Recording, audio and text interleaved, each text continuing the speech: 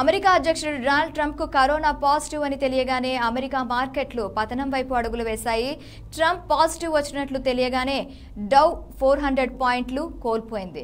డౌ Jones షేర్లు ఒకటి point ఆరు శాతం తగ్గినట్లు మార్కెట్ అనలిస్టులు తెలిపారు. ట్రేడింగ్లో నాస్డెక్ కూడా ఒకటి పాయింట్ ఎనిమిది శాతం తగ్గింది. ట్రంప్ సలహాదారుకు కరోనా వైరస్ సోకిందని వార్తలు రాగానే అమెరికా స్టాక్ మార్కెట్లు డీలా పడ్డాయి.